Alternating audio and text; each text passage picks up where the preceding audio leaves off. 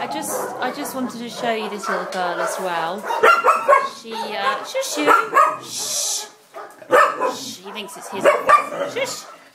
She's very she's very sweet. Hey shush, I'm making a video. Shh. Shush. Come on. Shh. And uh, sorry, she's very um very thin. I'm not sure what her name is or how long she's been here. We've got quite a few Podenco types, so it's getting a bit confusing.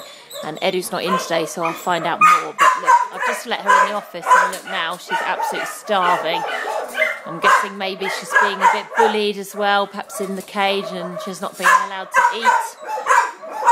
But um, she's yeah, she's a bit shy when I approached her, but then she just sort of cowered in the corner and let me let me pick her up.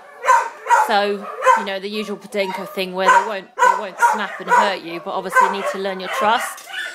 Um, yeah, I mean she looks like she's around two. I looked at her teeth. Um, as I say, I'll ask Edu for more information, but I just wanted to show her just maybe if possible because she's.